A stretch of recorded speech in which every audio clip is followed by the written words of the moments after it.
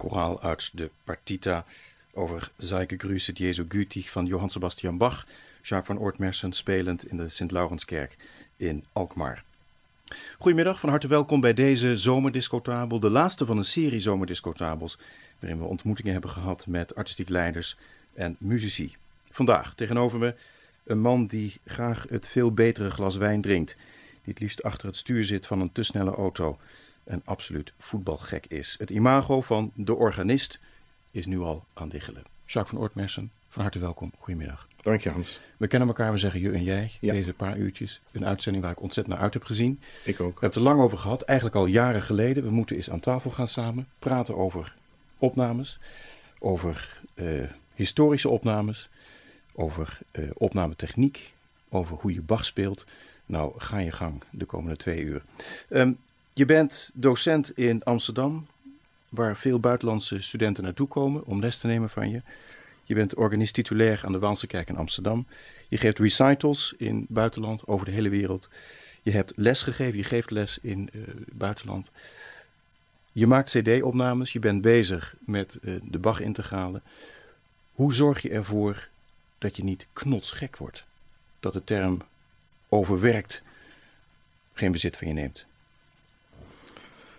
Ja, dat, eh, je begint al met een hele moeilijke vraag. ik denk dat organiseren een, een belangrijk aspect is in het geheel. En ehm, ja, heel veel vooruitzien, coördineren van projecten die je doet, eh, proberen de zaak een beetje eh, in één lijn te krijgen als je een bepaalde periode met een bepaald repertoire bezig bent. Dan is dat simpeler dan wanneer je in één week drie verschillende programma's moet spelen, wat overigens wel voorkomt omdat ja, je weet, eh, een organist kan zijn eigen instrument niet meenemen. Dus hij is altijd afhankelijk van het instrument dat hem wordt aangeboden. En dan ben je vaak heel beperkt in de keuze van je repertoire. Nou, daar ga je. Je moet dus je aanpassen aan je instrument. Je moet je aanpassen aan tijdzones de wereld over. Ja. Eh, hoe, hoe ben jij met stress? Eh, tamelijk goed, denk ik. Ik ben fysiek ook behoorlijk sterk, dus eh, ik kan vrij veel aan. Sport je? Ja, ik sport twee keer in de week. Ja. Dat, dat is echt een, eh, zeg maar een conditio sine qua non. Het, eh, anders zou je dit niet kunnen volhouden, denk ik. En, en helpt dat om de geest rustig te houden, om het op orde te houden boven? Nou, ik denk, ik denk dat zodra je het gevoel hebt dat je de controle over de toestand verliest, dat je stress krijgt. En zolang je, dat, zolang je het organisatorisch goed in de hand hebt en je kunt het ook eh, ja, eh, fysiek goed aan, dan, eh, dan valt het wel mee misschien. Zullen we eens beginnen met een paar leerlingen van je? Dat lijkt me een leuk idee. We gaan luisteren naar een opname die je mee hebt genomen van twee leerlingen van je. Ehm, Bach, een concerto voor klavecimbal en orgel. Ik ken het niet. Je kent het vast.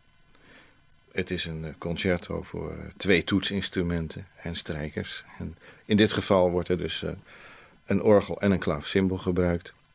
En dat, ik, vind het een hele leuke en mooie combinatie. Het eerste deel Allegro uit het concerto in C klein. Wat we allemaal goed kennen als het concert voor viool en hobo en strijkers van Johann Sebastian Bach. Hier Fabio Ciofini, klavecimbal, Marco Mäkinen, orgel en het Finse ensemble Opus 10. Het is een eh, cd vorig jaar verschenen op een Italiaans label. Twee van jouw leerlingen, Jacques van Oortmersen. Wat me opvalt is het tempo.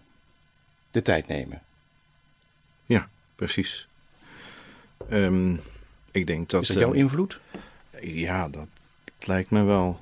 Ehm, ik denk dat tegenwoordig ehm, het tempo een van de meest eh, eh, onderschatte en minst eh, zorgkrijgende component is van de uitvoeringspraktijk. Dat eh, er heel veel snel wordt gespeeld of langzaam. En daardoor de diepgang nogal eh, kan verdwijnen. Hoe komt dat? Wat is er aan de hand? Dat is een, een heel. daar zou ik eh één of twee uur voor nodig hebben. Doe dus, in twee, doe dus in twee minuten. Nou, dat is heel moeilijk, denk ik. Ehm, dat is een situatie die gegroeid is. Eh, we leven in een hele snelle tijd, uiteraard. Ehm, onze, onze kennis van de uitvoeringspraktijk, ondanks het feit dat we het zogenaamde authentieke musiceren uh, hebben uitgevonden. Wat natuurlijk een, uh, een, een grote marketingtruc is. Op dit moment zeker. Ehm, ja, ehm, dat, dat uh, heeft er uiteindelijk toegeleid dat we heel ver weg zijn gedreven van, uh, van het oorspronkelijke idee. Maar en er dan, is toch zo ontzettend veel onderzoek gedaan. We weten toch nou nu zoveel beter. We weten het zo, maar we kunnen niet meer terug. Dat is het probleem. we zouden, eh, tempo is namelijk niet een snelheid van, van een slag, maar is een hele cultuur. Je kan niet zomaar een stuk langzamer gaan nemen. Uh, het is altijd leuk om het te vergelijken met een film. Als je een film afspeelt, dan kun je hem iets langzamer laten lopen of iets sneller tegenwoordig in een computer. Tot een zekere grens is dat allemaal dan nog te volgen, ook qua spraak. En, uh, maar ga je over die grens heen, dan wordt het, krijgt het een hele andere betekenis. Een hele andere, uh, ja, je perceptie wordt heel anders. Kijk bijvoorbeeld naar Charlie Chaplin die wij kennen. Van, ja, de jeugd kent dat niet meer. Van voor de tijd dat het niet op de juiste tempo werd afgespeeld. En daardoor kreeg Charlie Chaplin iets heel speciaals. En nu dat uh, met computers wel kan, is hij heel veel van zijn charme is hij kwijtgeraakt voor mij. Omdat dat, ja, daar wen je dus kennelijk uh, aan.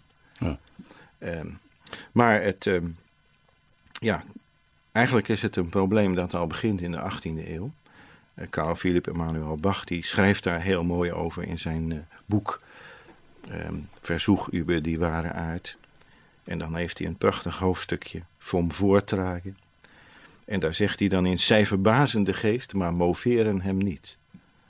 Dus in feite, hoe sneller je gaat, eh, des te minder diepgang kun je produceren. En daar gaat het eigenlijk over. Dus hoge, hoog tempo is ook een soort uitdrukkingsmiddel? Ja, het is, een, het is ook een vorm van uh, esthetiek natuurlijk. Alleen de vraag is of je dat, uh, dat altijd wil. Wij in deze tijd houden erg van hevige en snelle prikkels. Als we gaan eten en we hebben geen tijd, dan gaan we naar McDonald's. Maar na een half uur heb je weer honger. En zo luisteren wij ook naar muziek. Wie gaat er nog rustig zitten om naar muziek te luisteren? Nee, we hebben het wel aanstaan in de auto of uh, tijdens het journaal of de telefoon gaat tien keer. Dus echt de tijd nemen om naar dingen te luisteren hebben we niet. Doe jij dat zelf? Um, ja, als ik muziek luister, echt ga luisteren, dan niet. Dan gaat alles uit en dan ga ik echt zitten. En dat doe je ook nog? Dat doe ik ja, met een koptelefoon. En dan denk ik dat je vooral luistert naar opnamen uit de oude tijd. Heel veel, ja. Ik verzamel heel veel uh, ja, opnames van uh, na 1930. 1930, 19, 1960, 65, tussen die twee uh, jaren. Want om maar kort door de bocht te gaan, toen was er nog geen tempoprobleem, nog geen overhaaste, oververhitte maatschappij zoals nu. Uh, veel minder. Er was ook een tempoprobleem. Dat tempoprobleem is er eigenlijk in de hele geschiedenis geweest. Um, alleen, um, het is niet zo, um, ja, zeg maar, extravagant. Het zijn nu echt uh, uitspattingen die soms ja, de reden toch volledig, uh, ja, waar de reden volledig zoek is. Een Bach-opname uit 1956. Allemande uit de tweede partita BWV 826 van Johann Sebastian Bach, pianiste Rosalind Turek in uh, 1956, Abbey Road Studios in Londen. Is dit als het liedje dat Mozart schreef over dat oude vrouwtje dat terugkeek naar haar goede oude tijd toen zij jong was. Is dit een goede oude tijd voor jou? Ja, gedeeltelijk. Gedeeltelijk. Uh, ik zou het stuk zelf heel anders spelen. Uh, zonder meer. Hoe zit het met het tempo hier? Uh, ik denk dat het tempo laag is, te laag. Ik zou het iets sneller genomen hebben. Maar wat je bij haar hoort is dat zij de, de esthetiek van de laat 19e eeuw, zoals dat zo prachtig is beschreven door de muzikoloog Hugo Riemann. Uh, ja, die past zij op een bijna perfecte wijze toe. Hoe definieer je die esthetiek? Uh, je zou kunnen zeggen eh, dat in de 19e eeuw, rond 1830, er een enorme verschuiving plaatsvindt in de manier waarop uh, muziek werd voorgedragen. Daarvoor is het vrij um, zeg maar strak in de maat gespeeld. Heel um, bijna metronomisch. als uitgangspunt. En daarna, 1830, wordt het flexibel. Dan verschuift ook het, de, de, de, zeg maar de aandacht van de metrische accenten naar accenten in de melodie. Hoge noten krijgen meer accent dan lagere noten in een melodisch verband. Daar ligt Wat is er nou gebeurd zo rond 1830? Wat, eh, eh, eh, dat, is, dat is moeilijk te zeggen. Men is daarmee gaan experimenteren. De eerste bron daarvan is de piano forte schule van Carl Czerny uit 1839, als ik het goed uit mijn hoofd zeg. Waarin hij dat al gaat beschrijven, hoe dat is. Hij geeft een voorbeeld van een muzikale zin en die kun je dan op verschillende manieren kun je die vormgeven. Door wat sneller te gaan en wat langzamer te gaan aan het einde en aan het begin van de zin.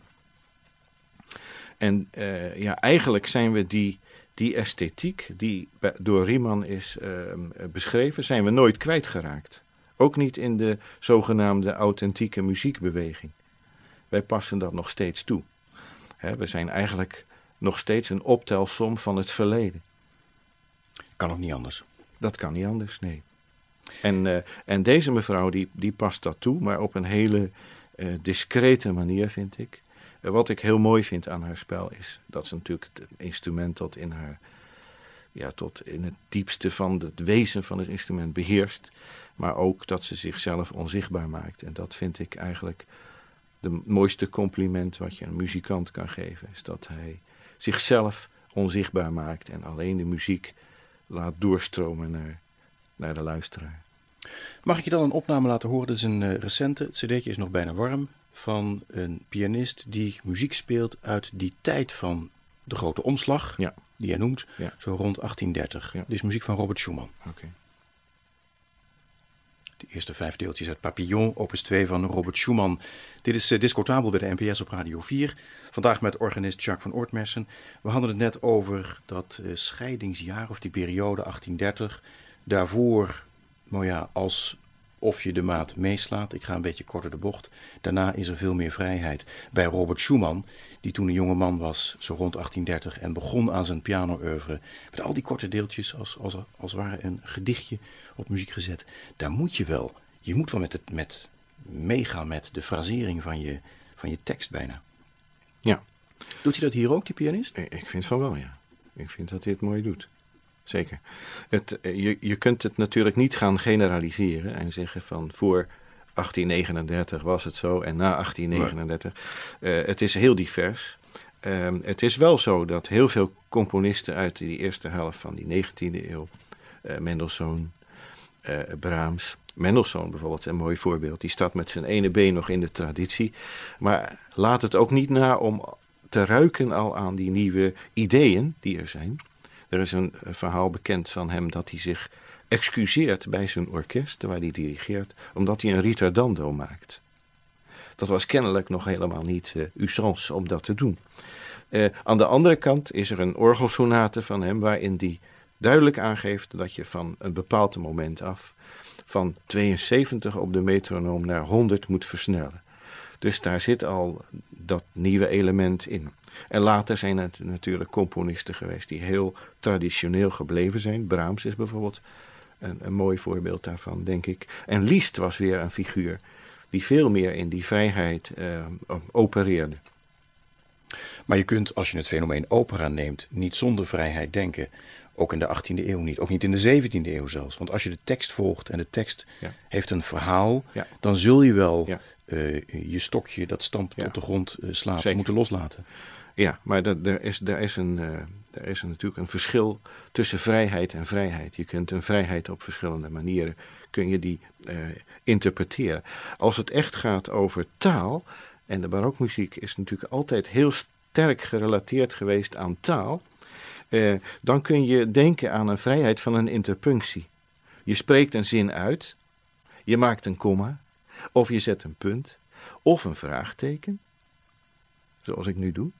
En dat, uh, uh, dat is een andere manier van vrijheid dan wanneer je uh, het spreken zelf in uh, versnellingen en verlangzamingen uh, probeert um, vorm te geven. Zoals Schumann hier duidelijk doet. Ja, ja. dus eigenlijk komt het accent steeds meer op de melodie te liggen. En ja, eigenlijk steeds meer ook in instrumentale zin, zou je kunnen zeggen. Dit is pianist Erik Lesage met een Robert Schumann CD. Komt natuurlijk goed uit in dit jaar, 1856, 2006. Robert Schumann, uitgebracht door um, Alpha. Met hoofdzakelijk voegenwerken van Robert Schumann. Wat vind je van de opname trouwens, de registratie van een piano? Misschien wel net zo lastig als, gaan we het nog over hebben, een orgel in de ruimte? Ja, uh, ik, ik vond het, um, als ik uh, eerlijk mag zijn, een beetje aan de indirecte kant. Ik had het iets, iets meer naar voren willen halen, maar dat is misschien een kwestie van smaak. Dan nu duidelijk voor uh, die jaren 30 van de 19e eeuw, Wolfgang Amadeus Mozart, wel aan het eind van zijn leven, uh, ouverture tot Die Zauberfleute. Dit is echt een opname uit onze tijd. Ik ben heel benieuwd wat je daarvan vindt. Mm -hmm.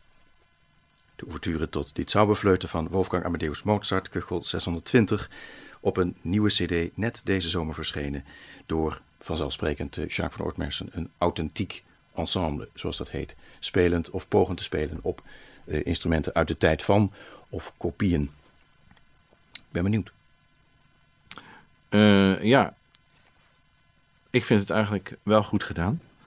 Um, uh, het is aan de snelle kant. Ik denk dat het zeker niet het tempo is dat Mozart in zijn gedachten had. Uh, Waarom zeg je dat zo beslist? er is zoveel bewijs en er is zoveel materiaal bekend. Dat, ehm, dat, dat staat voor mij als een paal boven water. Waarom stinken zij er dan in? Ja, omdat niemand het heel serieus bekijkt, omdat niemand bereid is zijn eigen conventies uh, uh, te, ter discussie te stellen. Uh, omdat er financieel het niet kan. Je kan niet tegen een orkest zeggen: jongens, we gaan nu de, de eerste Beethoven-symfonie doen, maar dan even heel anders. Dus we gaan even vier of vijf dagen repeteren, wat nodig zou zijn. Dat kan dus niet. Dus het is heel complex. En dan is de vraag nog of het uh, ook nog door de mensen wordt opgepikt natuurlijk. Want, Want dan gaat zo'n Mozart-opera wel even iets langer duren. Ja, ja, nou dat zijn bijvoorbeeld hele objectieve dingen die wij weten. Uh, tijdsduur van stukken, symfonieën van Beethoven, ehm, stukken van Liszt, waar heel van bekend is, van verschillende bronnen, hoe lang ze geduurd hebben. En de, bijvoorbeeld de Eroica die, van Beethoven, die is in de première, geloof ik, nou dat weet ik niet precies uit mijn hoofd, maar ik dacht 20 minuten langer dan wat je gemiddeld op een CD vindt. Dus dat zegt wel iets. Uh, wat gebeurt er hier? Wat doen ze hier? Oké, okay, ze spelen volgens jouw smaak of volgens jouw inzichten te snel. Maar hoe spelen ze het nou, in hun tempo? Kijk, het punt is, tempo is een cultuur. Dus als je alle componenten van de uitvoering van een stuk in een goede balans brengt, dan ontstaat er een zekere esthetiek die acceptabel is, denk ik. Um, maar op het moment dat je dat tempo gaat veranderen, dan zul je niet alleen het tempo moeten veranderen, maar heel veel andere elementen ook. Want anders dan is het niet te harde. Je moet het ook. Uh, de, de diepgang zal uiteindelijk toenemen. En ook dan voor mij het wordt het stuk interessanter. Het is net alsof je op je fiets door het Louvre heen rijdt. Dat kan, heb je ook alle schilderijen gezien, maar de vraag is of wat, wat je dan gezien hebt.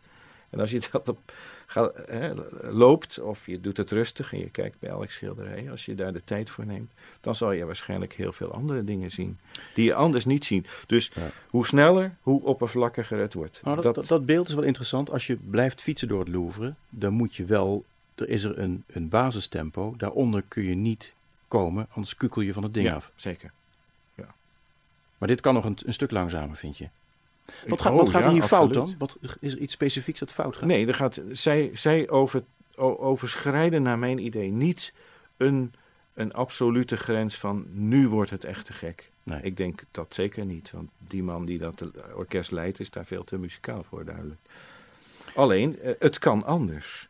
Ja. Laat ik het zo zeggen. Dit is Concerto Köln met ja. een uh, recente Mozart-CD. Met onder andere een kleine nachtmuziek met een aantal hoogtepunten uit het oeuvre. Beginnen met uh, ja, een van de mooiste, meest symbo symbolische ouvertures die Mozart geschreven heeft. Uh, ouverture die Zauberfleuten. Net uitgebracht door Archief. En misschien geeft het ook wel een klein beetje aan waar we met z'n allen mee zitten. Als je kijkt naar de foto op de hoes. Kijk, een stelletje skyscrapers. En er staat Ja, man dat met is de het pruik. helemaal. Ja. Toch? Ja. Dit, dit symboliseert Ja. de problematiek Ja. van deze tijd. En ik denk ook dat, eh, dat, dat wij veel te weinig van, eh, van bepaalde dingen afweten. Bijvoorbeeld wat, wat heel interessant is in eh Carl Czerny's pianoforte schule, waar hij dus over dat flexibele tempo spreekt. Daar geeft hij de betekenis van het woord allegro.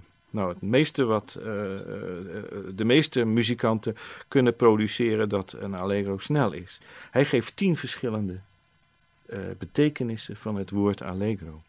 En de eerste is ruhig, sanft und einschmeichend. Dat is de eerste betekenis. De tweede is tiefzinnig oder schwärmerisch. Uiteindelijk komt hij ook bij zeer wild, aufgeregt und ausgelassen. Maar er zijn kennelijk heel veel gradaties. En die diversiteit van die affecten, ik denk dat, dat, wij, dat we dat heel erg kwijt zijn. Dat het of heel erg naar de ene kant is, of heel erg naar de andere kant. En heel weinig daar in het midden. Als er dan tien mogelijkheden zijn eh, voor een allegro, als er dan nog bij staat ma non troppo, Ja. dan weet je het helemaal niet meer. Nou, da- dan weet je het wel, omdat eh, ehm, eh, het tempo lees je hoofdzakelijk niet uit wat erbij staat, maar uit de manier waarop het stuk genoteerd is. Dus ehm, de, de, het de maatsoort, die is heel belangrijk. De snelste notenwaarden zijn heel belangrijk. En dan ehm, eh, wat erbij staat aan, aan karakterisering is een soort modificatie van eh, het tempo wat je eigenlijk dus bepaalt aan de hand van de notatie.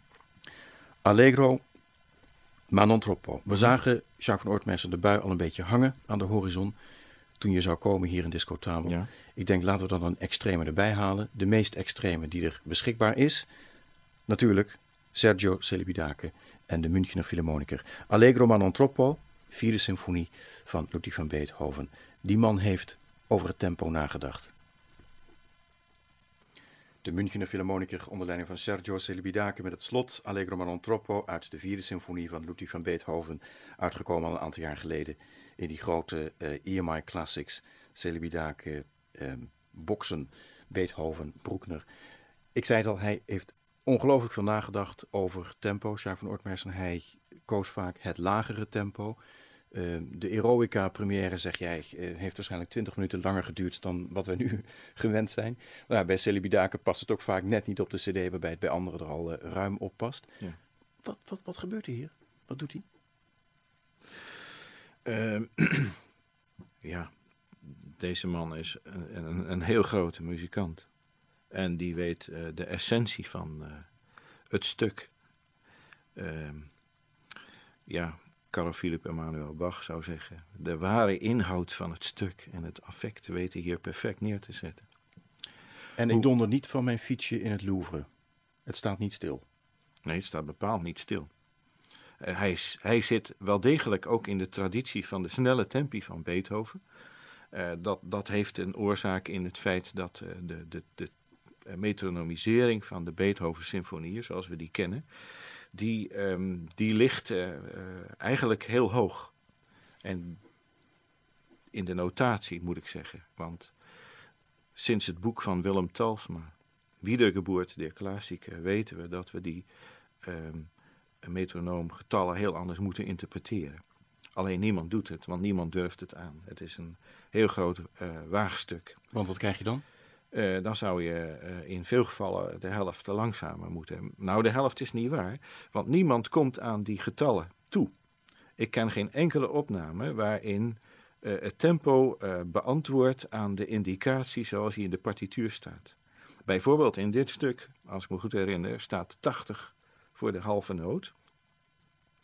En ehm, bijvoorbeeld Heiting en ook dit, deze uitvoering, deze eh, uitvoeringen komen niet eh, boven de, eh, wat zal het zijn, even kijken, f- 70, eh, 70 ongeveer, of zelfs nog iets daaronder. Wacht En dan is begrijp ik 80 Dan moet het dus sneller nog. Nee, het moet langzamer. Kijk, het punt is als je eh, dit getal interpreteert zoals het er staat, eh, dan moet je veel sneller. Maar dat kan niet, want dat is onspeelbaar. Dus Haitink en uh, Zelibidak, die, zij, die spelen het stuk sowieso al langzamer, maar het zou nog langzamer moeten.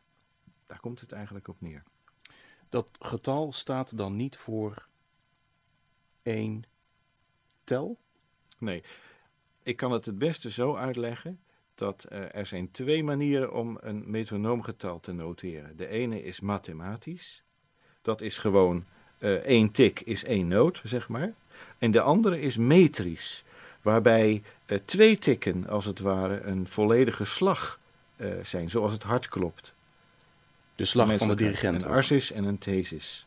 Aha. Ja, dus in plaats van 80 voor een halve noot is één tik, zijn het er twee. Dat betekent in feite dat je de kwartnoot eh, op 80 zou moeten nemen.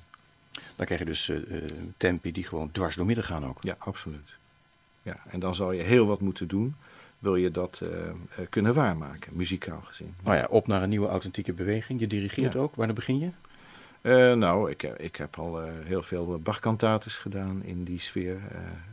waarbij dan het orkest in het begin denkt van waar is deze meneer mee bezig. Maar dan na een paar dagen repeteren, dan ontstaat er wel iets anders. En dat is eigenlijk heel, heel boeiend om die omslag ook van de muzici mee te maken. Maar jouw vingers zouden jeuken om Ja. een Beethoven te doen. Ja, ook. absoluut. Ik heb het al in mijn computer gedaan. Heel veel delen uit symfonieën gereconstrueerd om te kijken wat het affect is. Of het effect daarvan is. Heel boeiend. We gaan naar eh, iets heel anders. We gaan eh, naar romantische koormuziek uit Mhm. eh, Engeland. Ja. Associeer ik niet bij jou. Ja, ik ben, ik ben helemaal gek van Engelse koor. En dit koor is denk ik het, het mooiste wat ik ooit gehoord heb. De dynamiek die je hier hoort is absoluut ja, ongehoord. CD die je meegenomen hebt, dat gaan we horen. Eh, ik dacht eh Nunc Dimittis. Van Charles Villiers Stanford. Ja. Door het eh, Winchester Cathedral Choir. Onder Ja. leiding van David Hill. Mhm. En organist Stephen Farr. Nunc Dimittis van Charles Villiers Stanford. De oude Simeon in de tempel. Hij heeft er zijn leven lang op gewacht. En nu is de belofte, de profetie is in vervulling gegaan. Hij heeft het eh, kind Jezus gezien en nu mag hij sterven. Heer, laat mij nu maar gaan. En zo verklankt Stanford die tekst. En dat doet jou veel. Ja, er is een Chinees spreekwoord. Bijna raak is helemaal mis. Maar dit is dus helemaal raak. Eh, geweldige manier van eh, op symbolische wijze, eh, muzikale wijze, die teksten vorm te geven. Het is echt eh, fantastisch. En dan eh, voor, voor mijn gevoel een ideale uitvoering. Winchester Cathedral Choir, David Hill, dirigent, organist Stephen Farr. Hou je van Engeland? Ik hou verschrikkelijk veel van Engeland. Ja. Het is een geweldig rijke cultuur.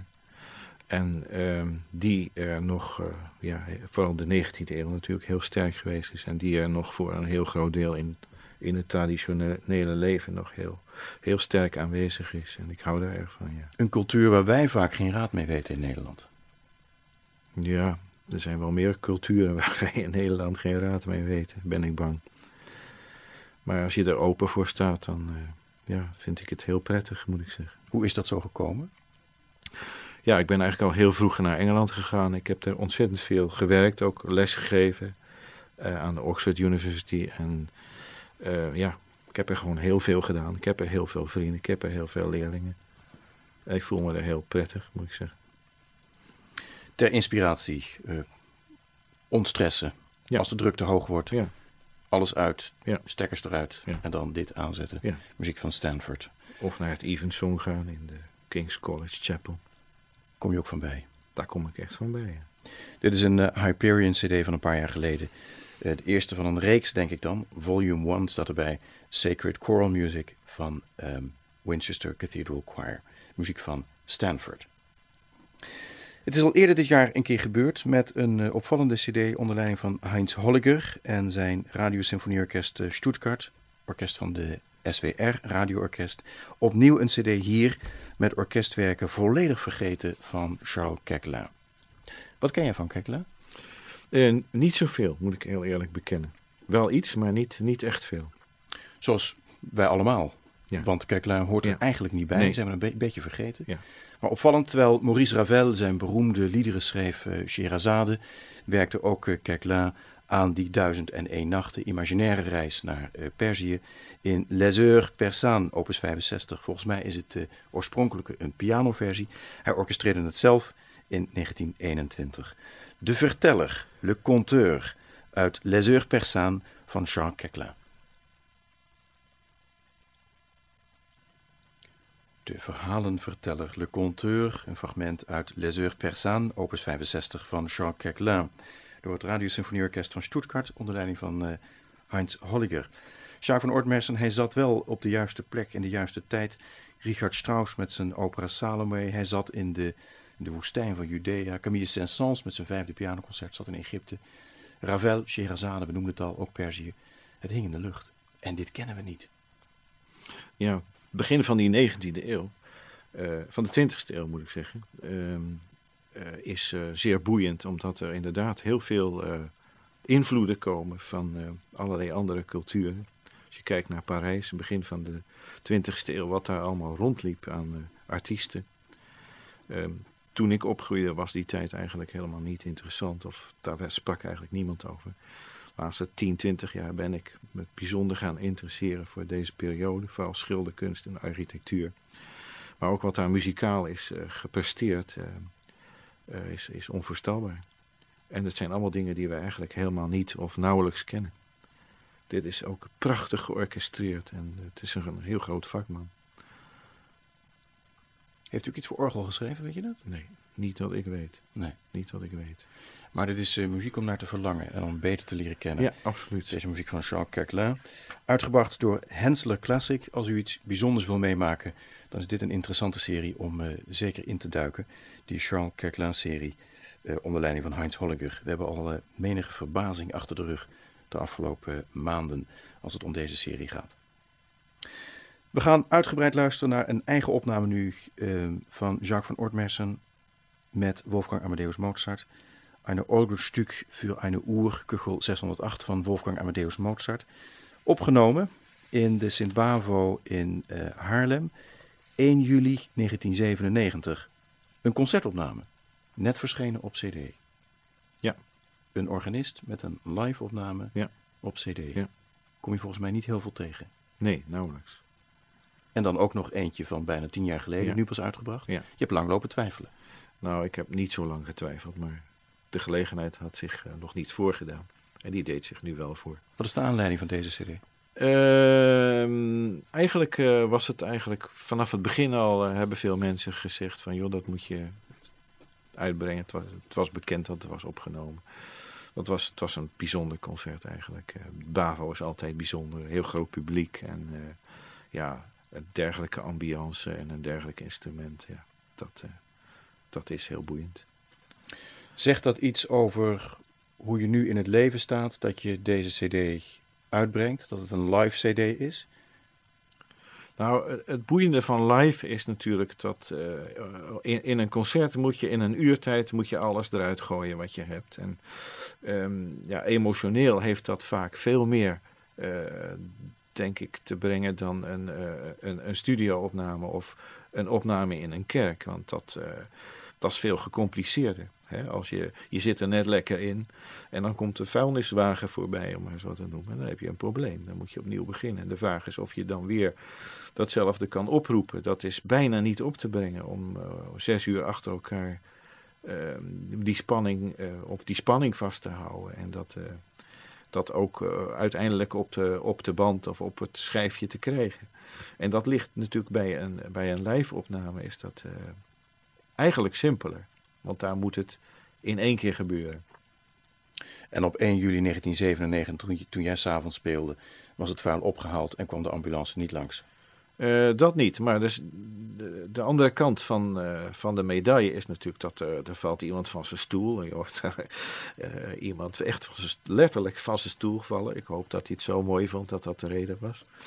Maar misschien was het ook een andere reden. En uh, ja, dat zou je op de koop toe moeten nemen. Dat nou, laten we teruggaan naar mijn eerste vraag in, in deze discotabel. Je hebt alles zo ongeveer wel onder controle. Anders word je ook met je vele activiteiten volgens mij knotsgek. Ja. Maar dit is dan een situatie waar je heel veel dingen, al spelend en het laat uitbrengen op cd, uit handen geeft. Er is een deel dat je niet meer onder controle hebt. Ja, precies. Ja. De omstandigheden. Ja, dat klopt. En die, die neem je op de koop toe. Ja. Dus dat zegt volgens mij iets over hoe je nu in je leven staat. Ja, is, ik denk, is ik dat denk, te ver? Nee, ik denk dat ik daar wel makkelijker eh, mee omga. In de zin van dat ik de voordelen van, van een dergelijke ehm, CD ehm, veel meer zie dan de nadelen. En de voordelen zijn dat je, ja, dat je ehm, eigenlijk meer kan brengen dan wanneer je een studioopname maakt. En, eh, emotioneel dan. En dat is uiteindelijk toch waar het om gaat. En muziek is magie. En die magie die ontstaat, eh, die ontstaat eigenlijk alleen in relatie met een publiek. Het is net als in de sport. Je, je kunt niet bij een training een wereldrecord lopen. Dat gebeurt nooit. Dat kan niet. Daar heb je de spanning van de wedstrijd voor nodig. En als je die, op een, eh, die spanning, die stress op een positieve manier eh, kunt gebruiken, dan, ja, dan kan er iets moois ontstaan. En ondertussen, Jacques, ben je toch bezig nog steeds met de Bach-integralen. Ja. Is dat niet ondertussen een, een nachtmerrie voor elke organist? Eh, komt die af? Mag ik hem voltooien? Ja, de, eerste vraag is natuurlijk wat is voltooien? Er staat sowieso niet op, eh, op de cover ehm, het volledige oeuvre van Bach. Er staat Bach Organ Works. En ik hou namelijk niet van cd's waar eh, eh, ehm, eh, planmatig eh, wordt opgenomen, zoals alle trio-sonaten, alle toccata's. Ik hou meer van het recital. Dus ik maak mooie recitals en ik kijk wel hoe ver ik kom. En ik vind het veel belangrijker dat ik ehm, de opnames kan voorbereiden zoals ik dat wil en niet onder welke tijdsdruk dan ook sta. En die sta ik sta niet onder tijdsdruk. Dus. Je bent er nu ook al een aantal jaren mee bezig. Ja, het heeft even stilgelegen door allerlei omstandigheden, maar we, we, zijn, we hebben de draad nu weer opgepakt en eh, nummer 8 is eh, net opgenomen, ook in de BAVO overigens. En die zal eh, over een maand hopelijk uitkomen. Zien we naar uit. Ja. Nou, dan wil ik je tot slot, eh, Jacques, nog even iets voorleggen uit de barokmuziek die we eigenlijk niet kennen. We weten ervan. We weten dat eh, Jean-Marie Leclerc een belangrijke viool eh, virtuoos was, eh, vioolleraar. Maar de muziek luisteren, dat doen we eigenlijk dagelijks nooit. Tenminste, ik niet. Nou, ik ken het wel omdat zowel mijn zuster als mijn broer eh, fluit speel- spelen. En wij vroeger nogal eens wat van Leclerc eh, Meen je? hebben gedaan. Ja. Ja, Ja. toch leuk. Menuet uit een van de vele sonates voor eh, viool en continuo van Jean-Marie Leclerc. Dit komt uit het vierde boek. Het vierde boek van Leclerc, net opgenomen door het ensemble La Tempesta onder leiding van violist Patrick Bismuth. Jacques. Ja, ik moet eerlijk zeggen dat ik niet heel erg enthousiast ben over deze opname. Ik ben geen violist, maar als ik viool zou spelen, zou ik het geloof ik anders doen. Dat is één. En ehm, ja, ik vind het nogal gemaniereerd. Vooral dat. We hebben het net over tempo gehad. Eh, Eigenlijk moet je, als je over tempo spreekt, ook over beweging spreken. Dat zijn eigenlijk twee dingen die je nooit eh, moet ontkoppelen. Eh, De beweging is wat er in een tel gebeurt en hoe dat overkomt. Fransen zeggen mouvement. Eigenlijk het karakter van een stuk is een beweging elegant of eh, vrolijk of wat dan ook. Dat kan van alles zijn. En Menuet was- staat hierboven. Ja, en, en menuet is natuurlijk een hele elegante dans. En hij probeert het wel, maar het lukt niet helemaal, zeg maar. Jammer. Want ze hebben er veel werk aan gehad. Net uitgebracht door Zigzag Territoire. Mhm. Volgens mij zijn ze al even bezes. En dan klinkt zo'n viool toch Nou, wat misschien aan de genadeloze kant. Ja, ik vind de opname vooral heel plat. Ja. Eh, eh, er zit heel weinig diepte in. En de balans tussen de diverse instrumenten is ook niet eh, even geweldig, moet ik zeggen. Dit was de laatste zomerdiscotabel bij de NPS op Radio 4. Volgende week weer met een volledig panel hier aan tafel. Jacques van Oortmersen, dank voor je komst. Dank voor je, je, je commentaar, je achtergrond. Heerlijk om het te hebben over zulke soort onmogelijke onderwerpen als, als Ja. tempo en, en richting in de muziek. Ehm, de agenda de komende weken, maanden, hoe ziet die eruit bij jou? Ja, Amsterdam begint weer lesgeven. Conservatorium begint, eh, ja. En over twee weken ga ik naar Japan en Korea. Voor een aantal eh, concerten en eh, masterclasses. En dan moet de Waalse kerk het doen zonder jou. even. Ja, maar ik heb een voortreffelijke vervanger. Dank voor je komst. Graag gedaan. Heel graag tot gauw. Ik wil ehm, Tot slot nog een, wat volgens mij voor jou een, een absolute cultopname is. Sergei Rachmaninov, eh, derde pianoconcert, het Concertgebouworkest Bernard Haitink, Vladimir Ashkenazi, de beroemde Decca-opname uit 1985. Onsterfelijk voor mij. Ja, zowel het stuk als de opname. En Haitink, eh, ik vind Haitink sowieso een, eh, een topdirigent. En hier ontstaat iets tussen dirigent, orkest en pianist, wat uh, naar mijn idee volstrekt uniek is. Dankjewel. Graag gedaan.